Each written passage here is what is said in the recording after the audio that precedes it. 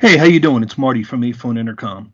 I just want to go over the features and functionality of the uh, iXsoft and um, basically uh, give you a tutorial on how to use it. This is a, a user uh, end user video for someone that has this on their desk and they're not sure how to use it. It's not an installation video. All right, so what you're looking at here is uh, the basic interface of uh, iXsoft. iXsoft is a software made by Aiphone that allows you to use your PC or laptop as the master station for the system. You can have as many iXsofts in the system as you like, and you can communicate throughout your company uh, to masters or door stations. So I'm going to uh, minimize the application and we'll show you how it looks on your computer uh, when you uh, need to use the system. All right. All right. So you're working in your PC, uh, doing Excel or what have you, and somebody rings the bell. Um, it pops up on your uh, PC automatically. You could see who's at the door. Hello. And um, if you want to answer the door, you simply hit this icon here. Now, this allows the audio and video to go back and forth. If you decide you don't want to talk to the person, uh, you can just literally end the conversation by hitting this button here. Um, if you want to record the video and audio for some reason, uh, you can hit the record button and that'll allow the recording to start. Um, this icon here shows you that there's one person calling in. If another door station calls in, there would be a two or a three or a four, depending on how many people are calling in. And you can click on that and then decide who you want to speak to. This icon here allows you to uh, play with the uh, brightness on your screen. This is the volume um, the speaker volume, and this is the ringtone volume. All right, so I want to answer the door. So I'm going to hit this. I'm muting it over here so we don't get any feedback. And I wanted to let the person in. So I just literally hit the unlock door button. It says door open. And that lets the person in. Now, let's say, for instance, the person wants to speak to somebody else in your company. You can transfer the call. So I'm going to hit transfer. And now it comes up with all the stations in your uh, system. Can't transfer to a door, but you can transfer to a, a, master station. So let's say he wants to talk to the main security guard. So I'll click on that and I'll hit transfer call. So now um, the person in uh, the main guard station first floor answers it. Now you're speaking with them and you can actually see them and uh, uh, talk with them. And when you hang up, the call literally hangs up on yours and comes up on the master that you're transferring it to. So all you have to do is hang up and the call transfers automatically. All right. So now this is your basic interface. Um, basically, um, if you want, you can um, page from the station. And let's say I want to page everybody. I hit page and I just simply hit page. Hello, this is a test of the paging system. So you can page like that and just talk into your laptop or a desktop and it pages. Or you can hit page and let's say you want to do an all page, but you want to do a pre recorded message that you can make right on the system. You go down here and you pick your pre recorded message I'm going to do this test emergency broadcast and hit page. This is the test. This is the test. This is the test of the emergency broadcast system. This is only a test. Thank you. Okay, so um, as I said, you can page using this uh, tab over here, um, and you can also monitor. So right now I have only two door stations, a front and back door, and if I want to monitor the front door, I just select it and hit monitor, and I'm monitoring the front door. Hello.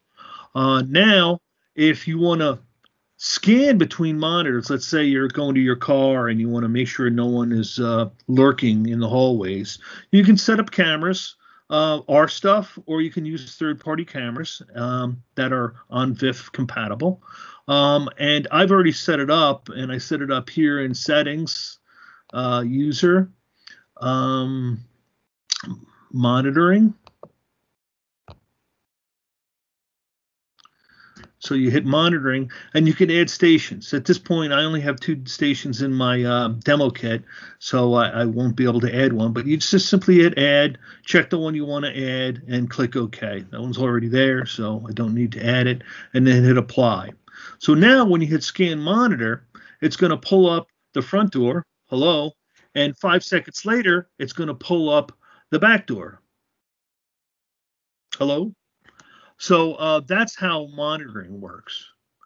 So um, basically, um, again, when you're using the system, um, that is uh, how you can use the capability of um, monitoring. I shut it off real quick, so I'm just going to bring her back up. So uh, let's see. You got your monitor, um, and in settings, you could set um, who you want to monitor and how long. So right here, you have 60 seconds worth of monitoring. You can set it for whatever you want. I think up to 10 minutes or infinite. And scan or dwell time. That's how long it's going to sit on one particular uh, video. All right. Um, dial. Uh, if you know the person's extension that you want to dial, you just simply type it in and hit the call button and it'll dial out address book. Uh, you've got all your units. Let's say you've got a really large system with uh, you know hundreds of people in your uh, address book. If you want to just look at the units in canada you just start typing canada and it'll look at the location and um, and then uh, let's say i'll put the us in and i got two units there. So you can search for who you want to call. Uh, you've got the capability of recording history.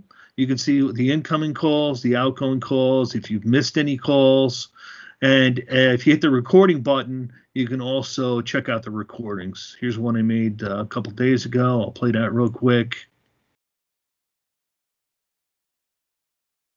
So that's uh, an IXEA door station from a phone, and that's a little recording that's in the history. Um, you go back.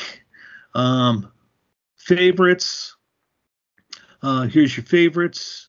Um, then uh, status uh, will tell you um, if everything is up and uh, what's wrong. The guard backup I have set up to have inputs and outputs. So right now, if I go, what's wrong with the system?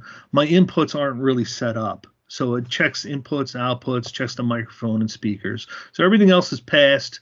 Um, my guard is still working except for the inputs, which um, I'm not utilizing.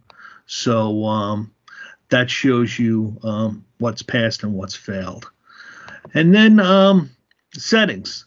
Uh, an important thing for an end user is if they're going to lunch or something and they want to transfer. Uh, what you can do is um, you literally um, go into settings and you hit transfer. Uh, you have an absent transfer, a delay transfer or a scheduled transfer.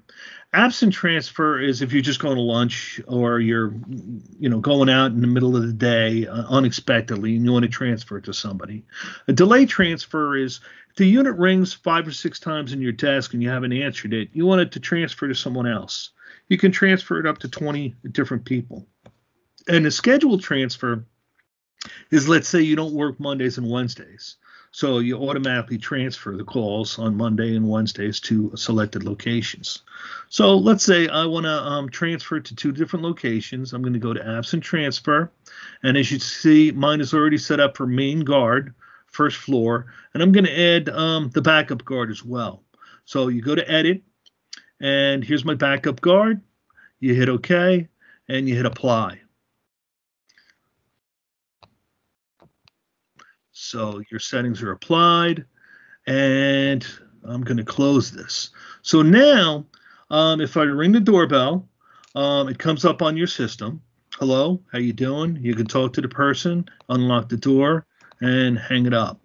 Now, if I hit transfer and press the doorbell button, it doesn't ring on your unit. It rings on the other uh, two units that are uh, remote. And um, that's basically the interface of um, the the system. So I hope this was helpful. And uh, we also have a map feature, which I'll go over in another video, which is absolutely incredible. You can actually manage a uh, entire uh, network or campus. So I can go to a, place on the uh, map. I can literally go to the second floor, third floor. I can go back to the campus map, uh, and you can call right from there. So if I go, oh, I want to talk to the first floor, I want to talk to the front door, I can just hit this button. But again, this is a very, very rich featured functionality, and uh, it's time for another video. But uh, I hope this was informative, and uh, enjoy using the Aiphone. Thank you.